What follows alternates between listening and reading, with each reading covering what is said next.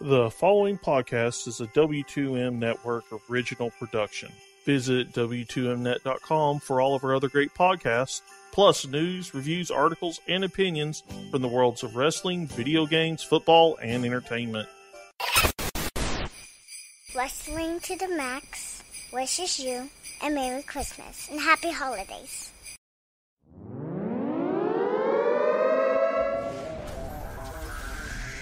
Wrestling to the Max, Monday Night Raw.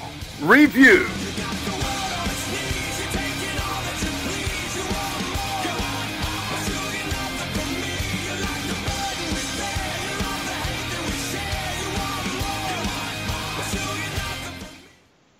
Ladies and gentlemen, welcome to Wrestling to the Max. Uh, this is, of course, the Raw review, and it is for December 11th, 2017. And we are brought to you by W2Mnet.com, the place where you go find all your great wrestling podcasts and a lot more. And don't forget to go give some love over to 411mania.com and last one on ProWrestling.com. Also, great supporters of ours. We appreciate them for sure.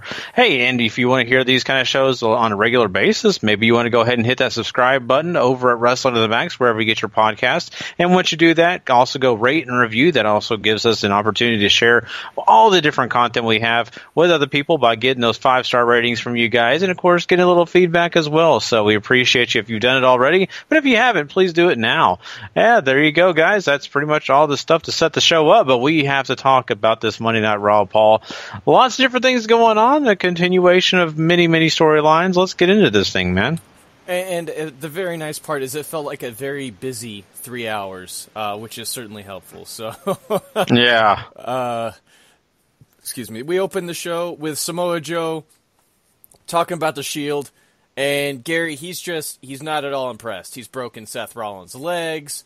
Dean runs away from him. He's choked out Roman Reigns so many times he's lost count. Basically, he's a giant badass, is what he's saying, and uh, it's hard to fault him on that point.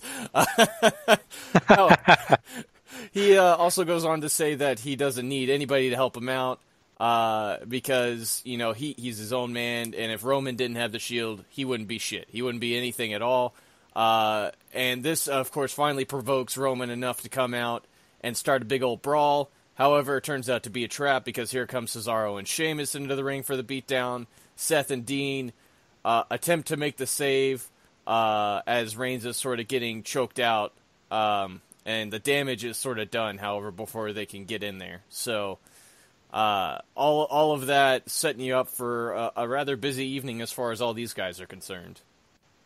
Yeah, and this is not a problem at all for the fact that you've got to have the Shield, you know, take their lumps here and there, right? You can't have them be just completely dominant over everybody, then it gets boring.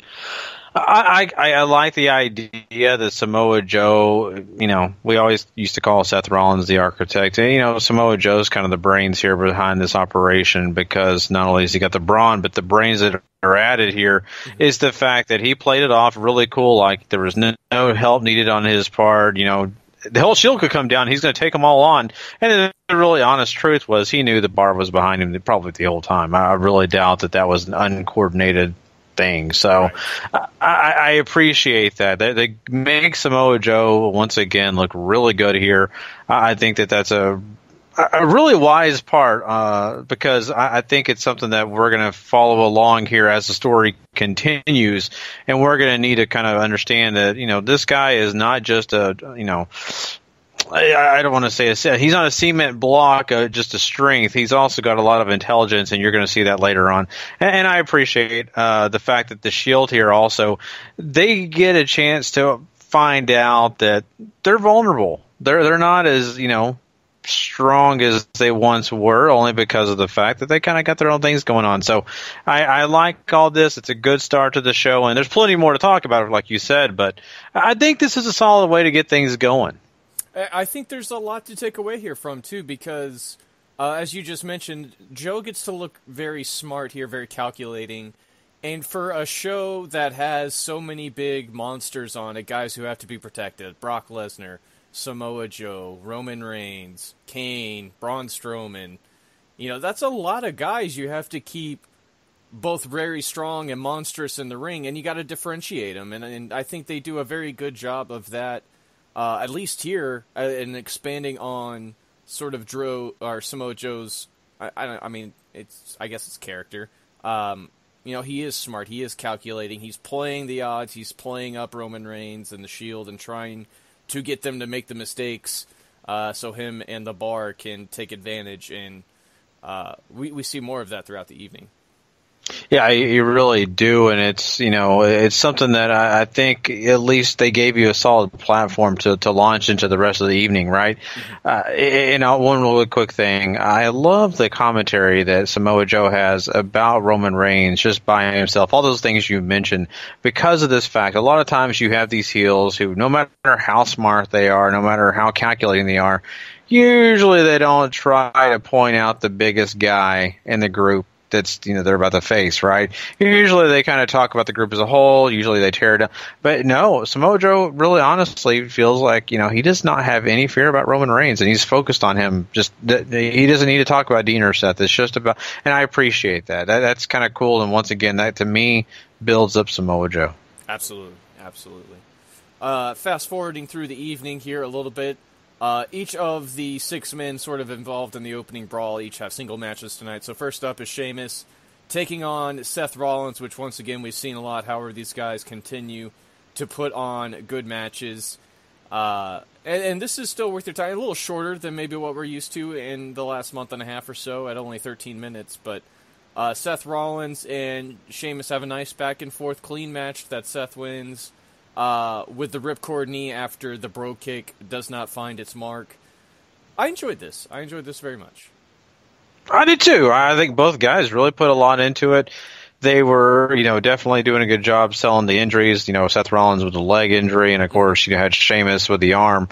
I think it really played a factor in this match, and, and I appreciated the storytelling that they kind of put on here, and a really great display of something we've seen before plenty of times, but at the same point, uh, it, it kind of added something different to the equation that made this match not boring, not just run of the mill. It, it, it, was actually interesting, and I, I kind of followed along with it pretty well. So uh, Seth Rollins is the right guy to win, though. So yeah, absolutely. I mean, as much as the bar has taken advantage of the Shield and the last month. Uh, it certainly has put a, uh, maybe a little bit of a, a, black eye on Seth Rollins and Dean Ambrose as a tag team, if you ask me. But um, Seth certainly does need to win here, so I, I agree with you on that. Mm-hmm. Uh, next up on the roll here is Roman Reigns taking on Cesaro. Uh, they don't wait for the bell though; they just start fighting uh, which I really enjoy. It sets a very, very different pace than what we got earlier in the evening between Seth and Sheamus, which is very much more scientific. This is just guys going out there throwing bombs for about 16 minutes or so. Cesaro, I thought, looked wonderful. Uh, Roman Reigns really brought the working boots tonight as well. And uh, these guys just put on a heck of a match. Can't give them enough credit. Reigns counters out of the neutralizer, hits the spear for the one, two, three good good work overall. This is not the problem I think people have with Roman Reigns is is never the in ring work because I think he's more than proven he can hold his own. I agree, and here, here, you know, this is proof enough. Like you said, I have no argument with that. I think everything you said is pretty spot on with this match. Mm-hmm. These guys are definite brawlers. They have a lot in their arsenal you know, it's kind of funny. You would think that this would be more on the Samoa Joe Roman Reigns level, but it's not. It really does fit well with Cesaro. He is that strong man. He, he doesn't look like he's very big, but the guy, very, very powerful, has a lot to give, and they really portrayed him in a huge light in this one. That made me smile. It really, really did because as much as we've seen Cesaro kind of just doing the thing with Sheamus and really not being a highlight, this to me made me feel like that they actually still do have interest in Cesaro. They feel good about him because he went toe to toe to Roman Reigns and really honestly looked like he belonged every minute in this match. I, I you know I can't even argue with the fact that Reigns won clean. I, I can't. I, I, honestly, they gave so much shine to Cesaro. Mm-hmm. I, I, I smile, uh, you know, still right now uh, for the fact. I mean, usually I would not be as happy, but I, I'm glad with it and good stuff on their part on this. Yeah, absolutely. And, and uh, I guess to sort of continue on the Cesaro love train here, I mean, we know this dude is, you know, a great worker. We've seen it time and time again. and he can have a great match in any style, which I think is, is one of the biggest benefits of having Cesaro around. And as much as I'd really love to see him succeed and maybe be the Intercontinental Champion or the U.S. Champion or however this is going to go down in the future for him, I think they like him where they have him. You know, he's a guy who you could put in a tag team and keep that tag team interesting because they'll always have the good matches. And I think he finds a way, much like uh, Kane, in a sort of way to where he can just sort of make tag teams work no matter who he gets paired up with. And uh, they can have a go of it. And when it's time for him to maybe challenge one of the bigger singles guys, you know you're going to get a great performance out of him. He's going to make the other guy look uh, really, really great. And I, I don't think that's something they underappreciate for him, but I just think that's the role they're happy to have him in. I think you you're onto something like that, and you know what's kind of funny. You're talking about Cesaro in this way. I think that WWE has really wanted Big E to be just like that. Mm-hmm. I, I think you know I'm not trying to go to the other show and focus on that. I'm just trying to say that for the point of Cesaro has so much talent, and I think WWE wants to use Big E like that, but Big E doesn't have a lot of the same offense and maybe even really honestly the experience that Cesaro does. So he doesn't, and that's why I don't think you've yet to see Big E branch off. Where I think eventually we're going to see Cesaro have a match or two for the United States, or excuse me, the uh, Intercontinental title, right? Yeah, because the United States is on SmackDown. I don't know what I'm thinking. I, I forget two different brands. Uh, but anyway, it's really easy to forget. The U.S. title's on a super boring guy, so it, it really is. And so I'm like, you know, but anyway, a mid card title could be in the future for Cesaro, and still being a tag team. I don't think that would be an issue at all. So, lots of praise for Cesaro. You're right. We could do that all night long. Uh, there's another th- thing I wanted to kind of point out here, and it's just because we're talking Roman Reigns. Roman Reigns. Did you kind of get the gist at the beginning of the show? We talked about how at the opening segment was fine. They, they actually did some things that are actually pretty decent, solid. Mm-hmm the crowd really was not cheering for Roman Reigns. They really were not, you know, I think WWE would have loved while Samoa Joe was talking for Reigns is to be chanted amongst the crowd and that to be a big deal. The only big pop really was when Reigns' music hit, and even that wasn't very, very strong. So, I, it may have been where they were at or something like that, but it, it's kind of funny because really Reigns did not get an overwhelmingly amount of love. Even in the match himself with Cesaro, I don't think that they just blew up any time for Reigns. So here's the problem that uh, WWE has on their hands, right? Is that while they have certainly uh, may, maybe more than ever, or at least since the formation of uh, the WWF, as, as, we know it as this big national brand, uh, and they started raiding the territories, has really gone out and just started handpicking basically the best of the independents from the last 10, 15 years. You might even go back and say 20 for some of them. Uh, and made them into stars, and, that, and that's wonderful. And certainly with the internet, there's so many more eyes on these guys that when you do what you do or did and are still doing, I guess technically with Roman, where you're you're pushing him and you're pushing him and you don't really care how he's going to get over, you just want him to get over, and you have all these guys like Cesaro, like Samoa Joe, like Dean Ambrose, like uh, name anybody else they've really signed, and people sort of naturally gravitate towards them because guys like uh, you know you and me and Sean and uh, other people who uh, you know are on our network watch independent wrestling now you already have so much time invested in these guys. You want to see them succeed. It doesn't really matter whether they're face or heel. And I think there's a lot of that, especially for Joe, who has been, you know, just beloved since 2000, 2001 maybe. Um, and certainly at least since 2005 after his huge ROH World Championship reign. So I, I, there's there's so much invested in a lot of these guys from some fans out there that you, you, you know they're going to make a ton of noise for him and with somebody like Roman who got what he did, I, I mean, that's sort of where the over pushing I think for WWE hurt the most. Not even the fact that casuals sort of turned on him. It's you have guys that people are invested in already. You just got to do something right, and you know, CM Punk, Daniel Bryan happens. You know, so. Mm-hmm.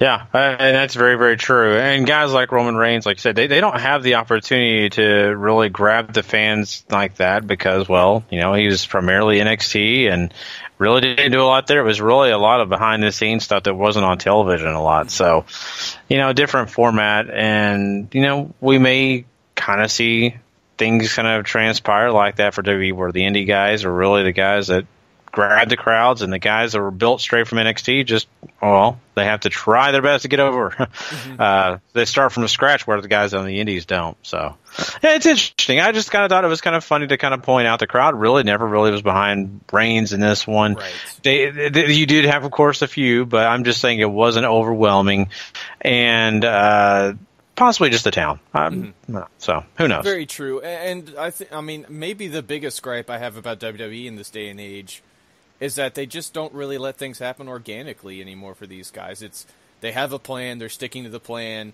uh, and that certainly has been the case for Roman, right? I mean, they they they've had long-reaching plans for this guy, and it's it's it's worked at some points, it hasn't at others, and it's turned into them going through any means necessary, like using the Shield again to try to get this guy to where they want him. So. Mm-hmm. Whereas you oppose that with something like the New Day, which they had a plan for, it got scrapped, and then suddenly these guys take control and they're off to the races, and you know now they're one of the biggest success stories in the WWE, which felt very organic, and I think that's one of the reasons why so many people gravitate towards them.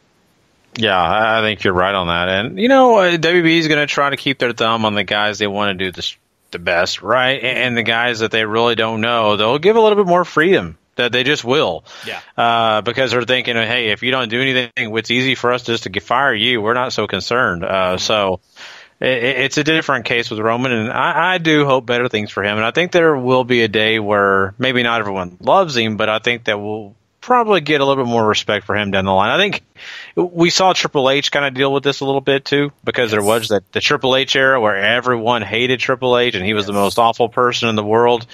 And now the same people that were hating him and completely just down downing this guy, now they're not so in that thought process. They're more on the line of, hey, it's cool. I'm glad to see Triple H. You know, something, you know. So maybe that'll happen for Roman. Mm, maybe so. Hopefully, it just won't take you know five years to get over it. At least that's or what WWE's semi- hoping. or we're semi-retired before it happens, right? So. Uh, so to end that tangent and get back on track here, we have to tell you this story so we can tell you another one. Kurt Angle's backstage. Uh, he wants the ring reinforced for Kane and Braun Strowman's number one contendership match in the main event this evening. This is when Jason Jordan shows up and decides to uh, try and placate to his father, right? So he apologizes. He's real sorry for how he acted last week, uh, and they sort of share a laugh before Jordan brings up that he wants to be the one to face Samoa Joe tonight, and sort of starts rubbing salt in the wounds that Kurt has about how Stephanie's been getting angry with him, how he's not been doing his job right, and all these other things. Jordan says that he can beat Samoa Joe, and he believes that he can. He just needs the opportunity once again. Kurt, however, says that what you've been doing, which is basically holding your own against all this top talent, isn't enough. You're not winning. Uh, you haven't beaten anybody, so why should I keep giving you these matches? And Jordan decides to throw a bit of a hissy fit and gives him a pouty face before walking out. So, I. Where, where do you stand on this? Because I, I really like this interaction. I like the build here. I wonder, however, if there's anybody who el- you know anybody else out there who really still cares about Jason Jordan at all in this story. I, I understand where they're trying to go, and I get that, and I can understand where you may come off interested in it. Uh, I just come off annoyed by it. I, I just do. I, I just don't find this Jason Jordan to be all that just super entertaining. He he's a whiny baby, which is great heat. And now now getting heat with the fans is not a bad thing, even if it is a crybaby. That's right. that's not a problem. You're at least getting people talking about you. At least people are thinking about you. Mm-hmm. Uh, but yeah, I mean that's kind of where I land. I'm I'm more annoyed by it, and I don't have any sympathy for the guy. Um, so when he gets beat down or anything, it's just kind of okay, cool, you know, no biggie on my part. So I, am not going to say I've lost interest in him. I just don't have a lot of care. I, and I think that's very fair, right? They they um, they sort of dilly dallied around with the story. They didn't do a whole lot with it at the beginning. It already, when it first came up, didn't have a whole lot of uh, positive feedback from fans. Um, you know, both casual and hardcore. So it's there's nothing really to stick this on. And here comes the heel turn after nobody has really cared since the start and I don't know if this is helping him at all. And I agree with you; he's getting heat now just because you know like you said, crybaby, uh, and and obviously, I'm sure some of the booing that is carried over from him just being a face in the story is carried over too. So, I, if this comes around to it being a big plan by Jason Jordan to finally get something, I that might be the best way to salvage it. I'm just it's it's interesting, and that's really all it is, right? There's not a whole ton of invest uh, investment, I guess, is what I'm trying to to get at. The, the, yeah, you're right, and they've got to really work on the storyline if they do want to have a big match between Jason Jordan, and anyone, mm-hmm. uh, even if it's Kurt Angle. You know, Kurt Angle says, "Look, I'm gonna have to put you in your place." At this point, we're all happy to see Kurt, right? But I, I just don't know that the match is going to make anybody yay, go go crazy, right? I don't think that that's going to happen. So they've got to really find a way to make people care about Jason Jordan again, even if it's caring uh, in a bad way, like really hating him. Uh, besides just, hey, it's an annoying guy. Could care less if he's on Raw or not. Yeah, absolutely. I, you know, I mean that that does raise a question. You know, it, we're close to WrestleMania. Jason Jordan finally turns on his dad. Him and Kurt Angle on the Big Show. Eh, that could be interesting. Yeah, it, it, could. I think a lot of people would be.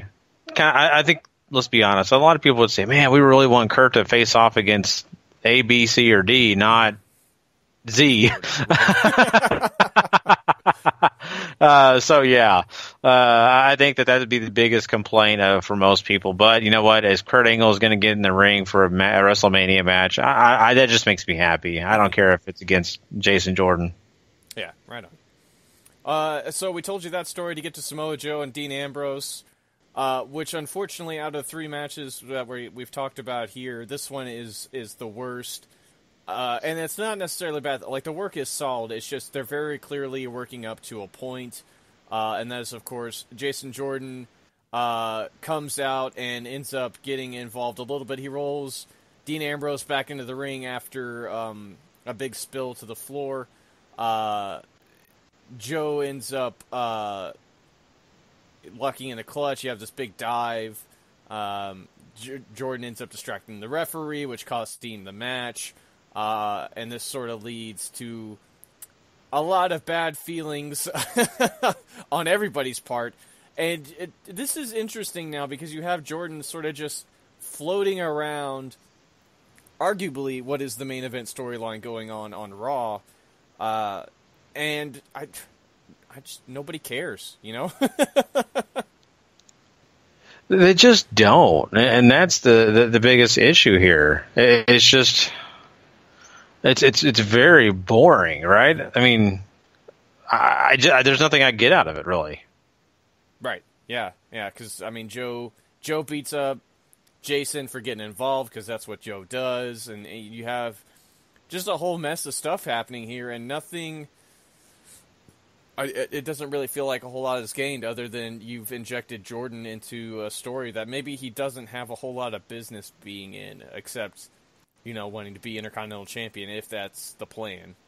Yeah, I, you know, okay, so maybe boring. I, I don't know. Here's the thing: I, Dean Ambrose, Samoa Joe, no problem with that, right? Mm-hmm. I, I think those two guys work well together, everything like that. But I, I think the addition uh, of Jason Jordan, the, the fact that the whole entire match I knew it was going to happen, I, I, think it took me out step one. That's fair. And, and, that's me. That's a guy that sat and watched a lot of wrestling. Now, a casual fan who, you know, has a lot more inspiration to watch it just for what's going to happen in the moment.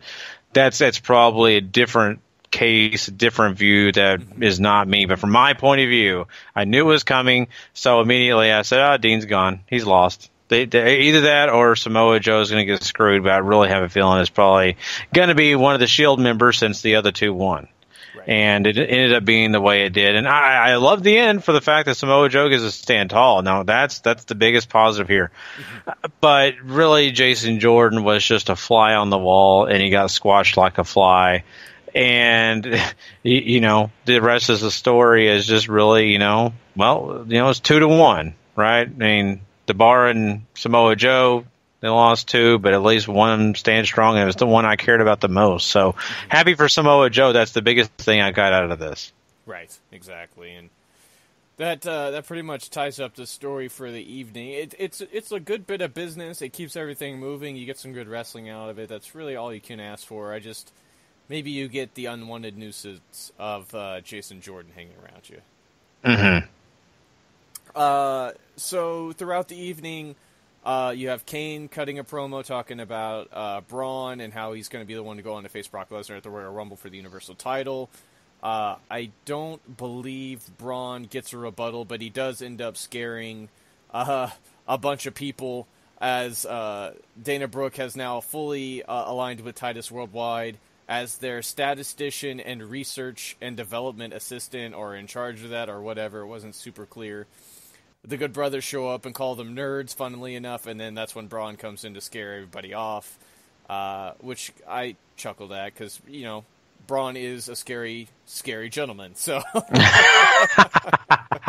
I think I would scream like a lady too and run. yeah, Uh, yeah. you know, no shame in that game.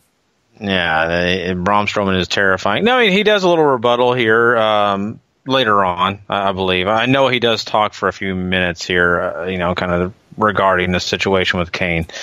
Uh, but I mean, uh, it wasn't overwhelmingly exciting. He, it's just, it's just, you know, what he does. You know, just uh, talks really strong and just kind of makes you know that he's in the building.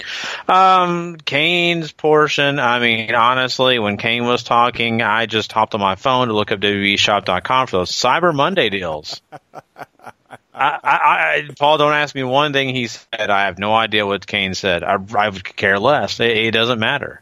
Um, so yeah, I mean, uh, that was a waste of my time. I, I don't really like either of these though. Just it's just kind of filler. It feels like it feels like it's unimportant, uh, even though it's supposed to be very important. They spend a lot of time in video packages and things like that for this feud. But I just I I I have such a lack of care and a lack of interest in Kane. I it it just takes the whole thing down for me. So that's just the way it is, and I, I kind of felt the same way about the, the whole Dana Brooke thing joining Titus Worldwide. It just didn't do nothing for me. I'm glad for her. She's been trying for a long time now to be a part of Titus Worldwide. It just doesn't mean anything now. It's just oh Yeah, yeah, yeah. They they've. I mean, Titus Worldwide really means next to nothing. Dana Brooke hasn't been used a whole lot, so you know you don't have a reason to be invested in anything. And not like Titus Worldwide has ever really meant a whole lot, anyways. So, uh, except for the brief brush with Akira Tozawa. So, Yeah, it's it's like trying to join the Cleveland Browns fan club. It, you know, it's like, oh come on, guys, you got to let me in. All right, go ahead. Oh, how many have we lost? Oh, we haven't won one. Oh, okay. I, and, and sorry, sorry, Brown fans. I'm rooting for you. I really, I was the biggest. I was wearing all the brown this past Sunday, and they still had to let the Packers go. So I'm out, guys. Sorry, they Cleveland. tried. They sure tried. Um, Braun and Kane go to a double countout in about five minutes. Uh, it's about as entertaining as their feud has been, which is to say, not a whole lot. Uh, Post match, they have a big old brawl. Uh, they end up both knocking each other down. Uh, Kane sits up, however, after they uh, they do the spot, and then Braun sits up and power slams him through a table that they pulled out. I, Kane, Braun Strowman, Brock Lesnar triple threat at Royal Rumble for the Universal title seems likely after tonight. uh, clearly, Kane is in there to take the fall if that's what they're doing here because they don't want to get Braun and Brock away again and have Braun lose again. Even though I still think it would be a wonderful idea to put the championship on him, they're not doing it. They're not going to do it, Gary. So we get to sit through a very, very slow main event at Royal Rumble. The Royal Rumble better be amazing. It better be really, really good because your main event is, is starting to stack up to be, uh, no, I'm not going to say a snooze fest, but a time of just uh, brawling and some of the same things you've seen 15, 25, 100 times. So, I mean, I, I, I get it too for the fact that like if later down the line, if they just want to have a singles match between Braun and Brock, they can do it and it maybe mean more later down the line. That's fine if they do that. That's okay. And maybe that's also why they're adding Kane into the mix. But like I said before, Kane doesn't do anything for me. In fact, he kind of brings the room down. And I used to love Kane, still kind of do for the nostalgic reasons, but I, I just think right now, wrong place, wrong time for him. And uh, mm, I just, I'm not thrilled about this, Paul. Just not this main event. I mean, I'll say this: they made Braun look really good here. He Braun looked like he was the stronger guy. It mean, meant that really he was the star in this whole thing. You know, Kane got his end. He's supposed to, that, all that stuff. But in the end, it, it's all about Braun Strowman. And that's what it should be about. So I'm not going to complain about the result, but I'm, like I said, just not a lot of interest in Kane. Mm-hmm. Yeah, I, I completely agree with everything you just said. So we'll move along to uh, another more interesting aspect of the evening, which is Absolution, uh, who continue to, I mean, they entertain me, so uh, they get some promo time. Uh, they talk about how dominant they've basically been since they got here, beating Sasha Banks last week, and tonight they will continue the streak as they face uh, Mickie James, Bayley, and Sasha Banks. Not a ton of time here, only eight minutes. Absolution, however, gets to win. And this sort of. Uh, I kind of wish they did this sooner than what they did with the Riot Squad, because the Riot Squad over on SmackDown got a six uh, six man or six woman tag win very early, basically with the same formula. The rest of the division's uncoordinated. They are all on the same page. That's how Absolution gets the win here after Paige uh, basically kicks Mickie's face off, and uh, Mandy Rose gets to get the victory.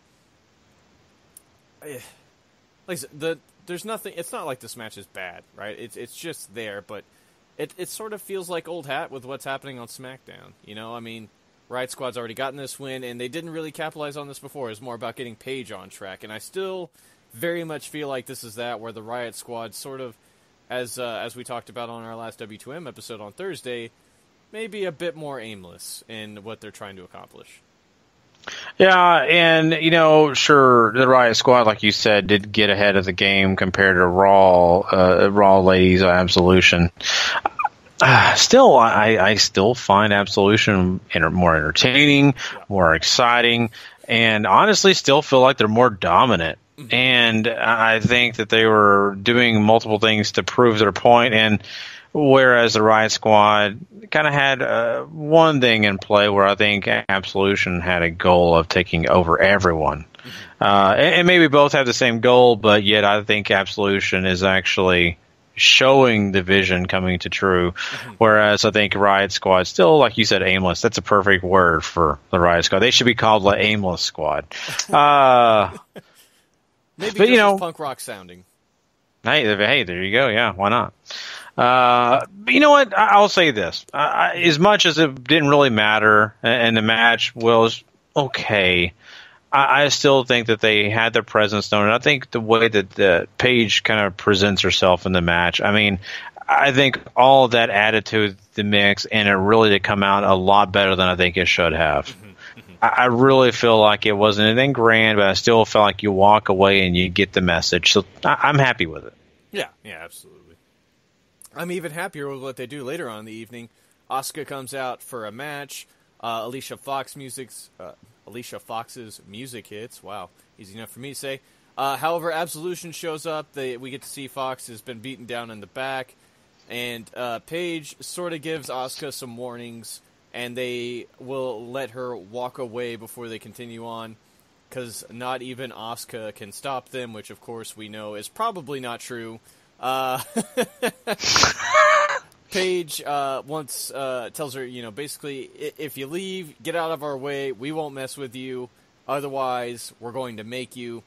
Asuka, of course, is not going to play that game. Attacks uh, Mandy Rose and Sonya Deville.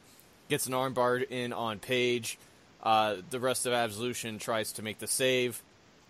But here comes the rest of the Raw division, including Nia Jackson, Alexa Bliss, uh, who have sort of been on the fringes of this, and Nia hasn't even shown her face around this until tonight, and uh, clear out the ring to sort of send Absolution running away with their uh, tails between their legs and to uh, give the rest of the division a bit of a shining moment here, since Absolution has absolutely annihilated them so far.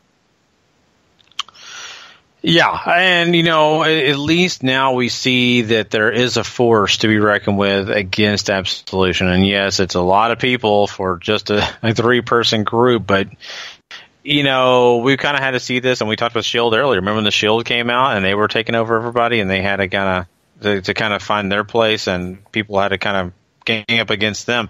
I, I think at least the rest of this division has woken up, and that's what I appreciate the most because it, it's been funny to me for a little while now. It's only been like three weeks, I think these girls have been on, but Absolution has pretty much done what they wanted to, whoever they wanted to, and no one else has cared. But I think now the division has woken up, and now we get a chance to see more mixtures of ladies facing off against Absolution, and it's going to be even more entertaining, I think. So I think really they're setting us up for some good things, and I love the fact that Asuka still looks freaking strong.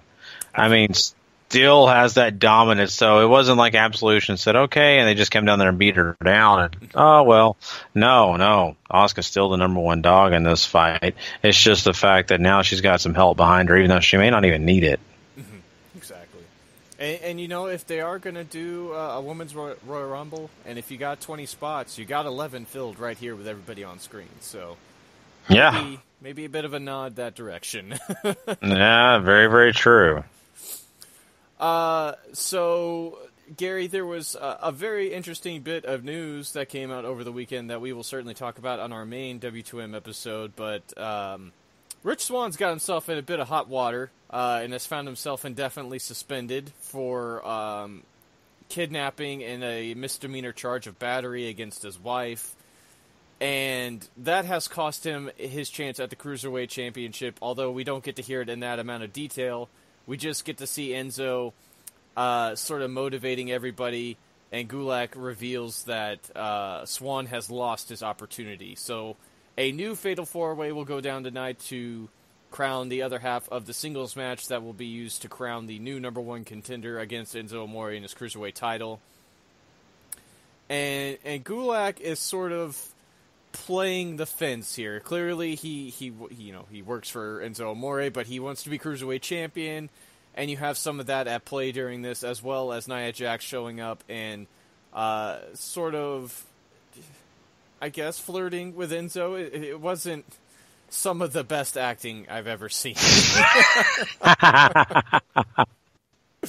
She's trying. Come on, Paul. She's trying. she She's- is trying. Yeah, hats off. You know, and Drew Gulak uh, remains a national treasure. I should mention that. Oh, I, I agreed 100% on that.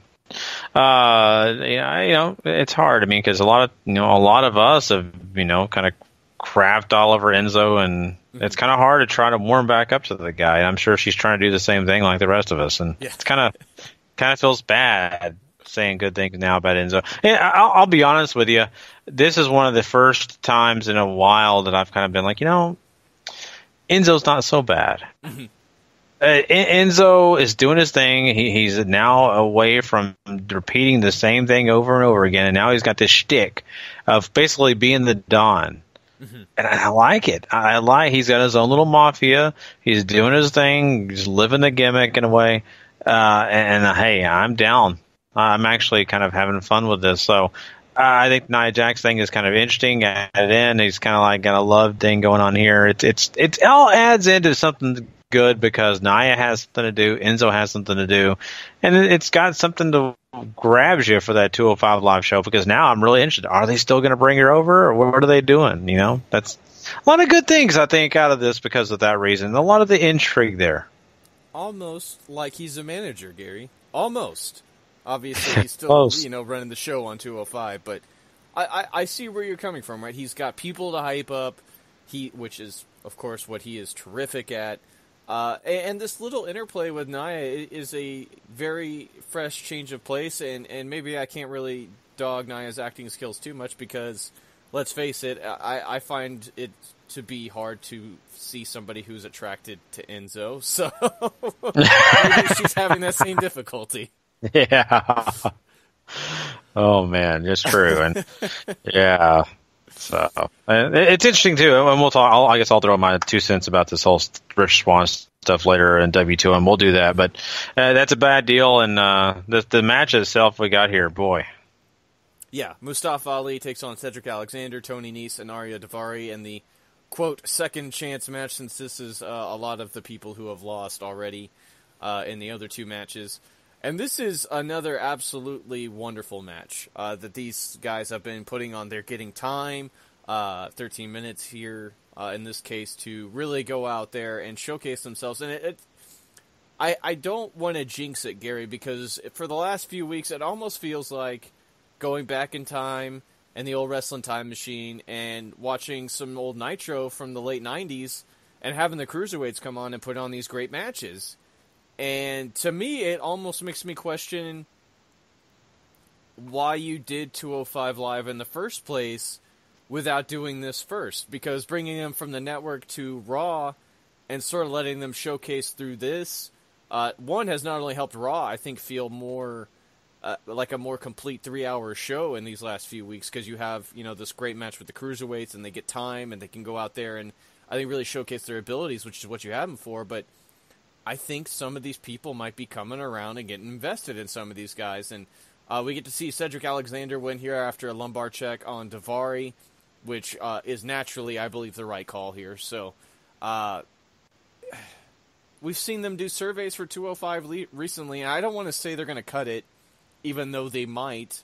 Uh, it, there's no rumors on that. It's just my own observation. But you know, we, we they're trying to save money obviously 205 live uh, i'm assuming is a rather large expense and if you're willing to commit to them on raw do you really need 205 live anymore if you're going to give away the farm every week on there uh, you know, it's interesting you say that because I've thought this for a long while. Mm-hmm. And I think the whole reason they even gave them their own show is I think they were planning on expanding the roster so great that really they couldn't handle all the guys on Raw, and they'd be just spending money for guys to sit around and behind the stage or actually at home. Mm-hmm, mm-hmm. So that's why they thought about having their own show. I don't think they've really done a great job of even on 205 Live expanding that roster, showcasing other guys. They, they to an extent they've done it, but to a small extent, mm-hmm. and now they're really focusing around about eight guys. Uh, so if that's the way they want to go in the future, yes, Raw is the place you need it. Make it a big focus on Monday Night Raw and give those stories there. Raw, trust me, I've said this a couple times. They've had filler on they this is the perfect thing. Fill it with things that we're going to actually care about. Mm-hmm. And the cruiserweights, if they keep having matches like this, you're going to want to care about them. You're going to want to hear about those backstories, things like that. So I, am with you. I, to me, in my personal opinion, I would have no issue if they cut 205 live at this point. Even if they needed to bring it back later down the line when it's needed. Right. Like you said, make these cruiserweights so important that they have to have their own show, not they have their own show to make them important. Exactly, exactly, and uh, uh, yeah, and it's obviously like I said, it's just sort of me spitballing here with Gary about it, but I, I mean, it, it could very well happen as as we've seen them cut a ton of content from the network. So, uh, yeah. Cedric Alexander getting the win here is the important part. I this match is great. Uh, maybe it's if you know if uh, Reigns and uh, Cesaro hadn't gone out there and absolutely killed it, this would have been match of the night. So. Uh, oh, for sure. Yeah. I mean, you're you're telling me. I'm sorry, I didn't mean to cut you off, no, but uh, I, just quickly, I, I, you know, Cedric Alexander in this match really showcased his ability. Really showed you why WB wouldn't pick him up. Mm-hmm. And boy, I mean, all four of these guys put a lot of effort into it. But if if if Rich Swann's going to go and screw up everything, there's one guy that I could say that I could get behind, and that is Cedric Alexander, and not a bad choice. I kind of feel bad for Cedric that he kind of played second fiddle, mm-hmm. but I still love that he did get this opportunity. So, yeah, me, me too, and, and uh, you know Cedric. I'm, I'm kind of surprised they waited this long, honestly, even though he did have the injury early on in the 205 live run. Um, I, I just he's someone who's I think is so each, easy to sort of naturally gravitate to in the role they've had him with, and certainly him and Rich Swann winning all the matches uh, possible uh, on the shows as as I think helped a lot. But I, I, I just so naturally gravitate to Cedric. I, I don't know if that's you know purposeful or not, but I, or if that's just him. But I mean, he's crushing it. Yeah, I, I think so, and I think if he worked on a little bit more on personality and really selling himself, mm-hmm. I, I think this guy has a long way to go. I really, really do. He's got the talent. I think really it's just he's got to find a way to grab the fans with his personality, some of the other things that kind of come into play when you're in a company like WWE. Yeah, you see a guy like uh, in Ring of Honor, Kenny King, and I think that he's really worked on that. He's a guy that has started to open up and become a more charismatic person, where before he was just a good wrestler. They could say a few things, and after that, well, whatever. So I think Cedric he needs to follow that game plan. It's it's it's looking good for him if he does. Um, after this match, uh, Gulak, first of all, I should mention, was amazing on commentary during that four way. Uh, going so far outlandishly out of the way to avoid answering questions about possibly facing Enzo was just terrific. And, and he proved to actually be very insightful, too, because, I mean, he knows all these moves. So, yeah, that's funny. He, uh, he ends up meeting with Enzo backstage after this match sort of talks up himself winning the qualifier and becoming uh, a future cruiserweight champion. Enzo sort of, you know, rubs, you know, fires back and says, "Look, man, we aren't friends. You know, you work for me. If you work for me, um, basically, you should lose to me." And then he's about to say something about his PowerPoint presentations and sort of be a dick, but that's when Nia shows up and flirts some more, and uh, Drew, uh, Drew ends up getting spared us uh, the crucif- of Enzo crucifying his his PowerPoint presentations. Oh boy, yeah, he better uh, think my Nia Jax a lot, but uh, you know, uh, I think this also you know leads up to some other things, and you know possibly showing those fractures already, mm-hmm. you know, in the uh, Zo train. So. Uh, you know, I think what this is going to lead to is, is possibly a big breakup with the Zo train, and we're going to see Enzo and Nia take over the world which could be interesting. I, I don't want to downplay it yet, but I'm willing. To yeah, I'm just saying. I mean, if he can't do something, Nia just comes in, destroys Tony Nese, and then gets out, and Enzo gets the win. Right. I mean, I, I, you're no selling it, but I, I, think it could actually be something they could use. I, I, don't know. I, you know, I, I wouldn't say it's the worst idea in the world. so. Close to it, but not the worst. Okay. Uh, so before we talk about this last bit that uh, I'm sure everybody's ready to hear us talk about, especially since uh, you were a little rough on the uh, Woken Matt Hardy Bray Wyatt segment last week, we're gonna briefly, uh, and I mean briefly, Finn Balor squashing Curtis Axel. Any thoughts at all? A good for Finn Balor. That's all. Yeah, that's that's really it. This guy really could use some more of these wins. So um, let's get on that WWE. So Matt Hardy comes out uh, he is talking about the Great War. It's continuing on in the WWE after all the other dimensions and time it's taken uh, for him to get here.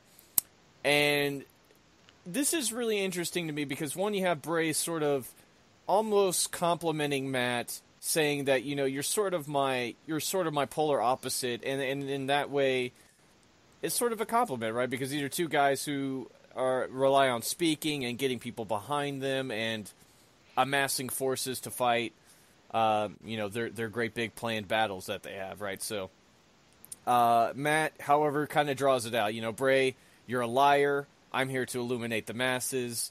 Uh, I have met Sister Abigail somewhere in time and space, and she has been consumed by evil. Whereas Bray believes him to be sort of a jester uh, in his court, as he is the king, and only one of them will survive this great battle uh, so Matt finishes by saying he is preparing his army for battle and deletion, and uh, then we get some more of that laughing. So uh, I, I, really, really enjoy. It's just so nice to see this character back on television. And there, there's talks, Gary, that they're talking about going back to the Wyatt compound and letting these two have the match that the New Day and the Wyatts got to have, sort of, just, but just between these two guys. So I'm all for that. Let's let's let's just go nuts, you know. yeah, I mean, it, would be great, especially you know with WB's money and production value. Uh, but then again, you hope it wouldn't take away some of the great stuff that we had in the uh, you know the oh, I already forget the name of it. Uh, not the you know this is a great war. What was the name of the uh, first? Um, so you had Final Deletion. Final Deletion, yeah, you know how how great you know that was, but some of that was great because it was kind of B movie esque, right? Yes. So you kind of had that to come into play, and, and maybe this could be pretty close to it. But I, I do once again still have my fears, reservations on that stuff. Uh, you know, there's possibilities out there, and it seems like you know we have Woken Matt Hardy having a lot of free reign to do what he wants. I'll, I'll say this though: this was overproduced.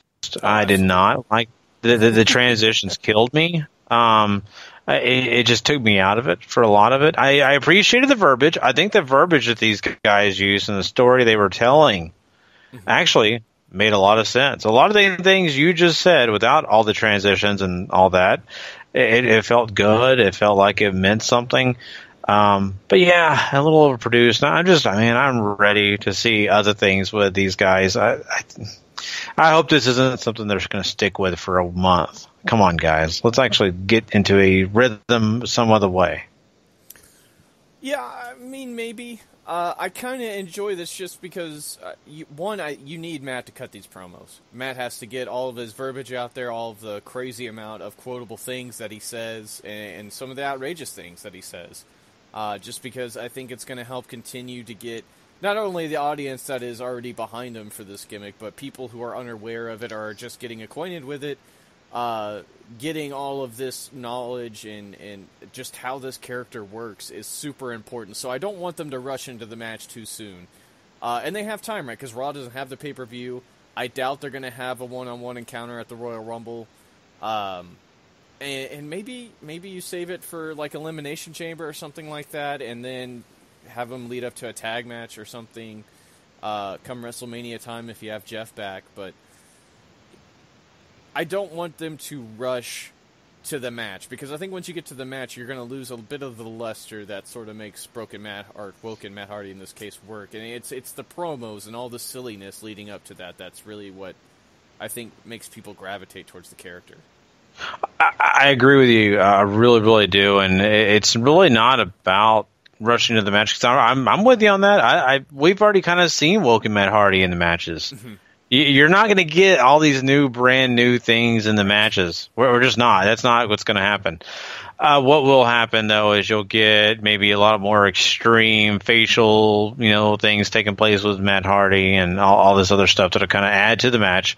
Uh, but I, I just I don't need a flip flop between promos. Give them their own promos. Let us follow Matt or Woken Matt Hardy through a field and have him tell us all these things. Let him stand in front of a Egyptian statue and talk about you know the old days and things like that. To me, that works. I, I just this whole thing between them flip flopping, but it doesn't work for me. I just don't appreciate it as much as I would if Matt had his own uh, little promo video. Eh, I think that's completely fair to say. Uh, so, I mean, with that, uh, hopefully, whenever the Great War comes, Gary, we, we get to see the dilapidated boat again. That's basically Yes. my end point. Oh, and what was the lake of uh, revitalization? yeah, what the- was it? I think it's the Lake of uh, Resurrection. If I remember. Something like that. Yeah. Yeah, it was great. I love when Abyss went down and Joseph Park popped up. oh my god, there's so many great things. So people, if you're listening to this and you've never seen this, yes, go look up uh, this stuff that TNA did. It, it actually was very entertaining. A lot of people were talking about it, but uh, yeah, I, I mean, yeah, I, I, I really do, Paul. I, I'm really excited. Like I told you last week during the week, I couldn't wait to get to Monday night Yeah. and I'm here and I'm like, man, okay, I'm gonna get excited tomorrow and like, okay, I can't wait to get to Monday night because I want to see something different. So let's just hope it's different. He don't have to be in the ring. Let's just do just Woken Matt Hardy. So there you go. My two I think that's fair. We we definitely do need to see him in the ring at some point. So, uh, I, we gotta rate this, Gary, before we get on out of here. So, what you giving it? Yeah, uh, you know, looking at this whole show, I, I think the over overarching story about you know the Shield, Samoa Joe, and the Bar was really, honestly, fairly well done. Really, not a lot of negative things to say. The only negative things really that came out of this was Jason Jordan, and he was a very minor part in it. So I am not going to judge on on that.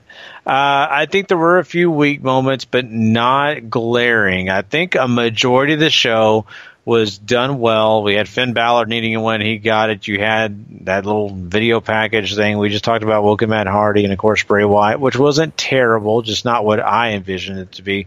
I'm going to go seven. I think there were good enough things here. I don't think this is an overwhelmingly great show, but I think they did enough to really have a good show.